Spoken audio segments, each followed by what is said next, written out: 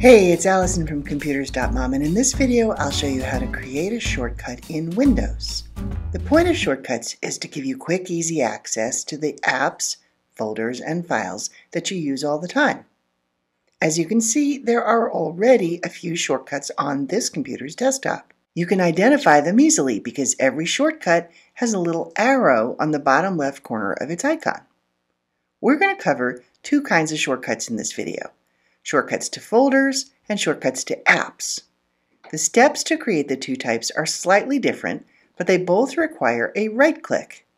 If you don't have a mouse, you can right click from your keyboard. Just click to select the item, then on your keyboard hold the Shift key and tap the F10 key. That will have the same effect as right-clicking with a mouse. Now let's create a folder shortcut. Start by opening File Explorer, which is the icon that looks like a folder on your taskbar. In File Explorer, locate the folder for which you want to create a desktop shortcut. I'm going to use the Documents folder for this example, but you can choose any folder or file that you want. Right-click on the folder or file to open this menu. On the menu, click Show More Options. Then on the longer menu, point to Send to, and on the submenu that appears, left-click on Desktop Create Shortcut. And there's our shortcut. We can open the Documents folder directly from the desktop.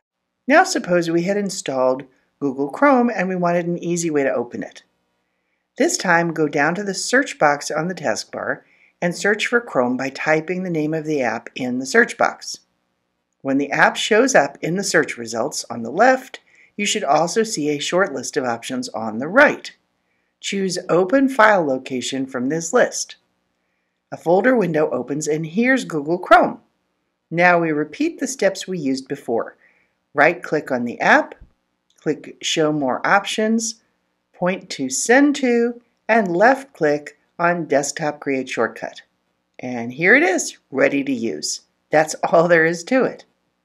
Here's a recap of the steps on a single page for convenience.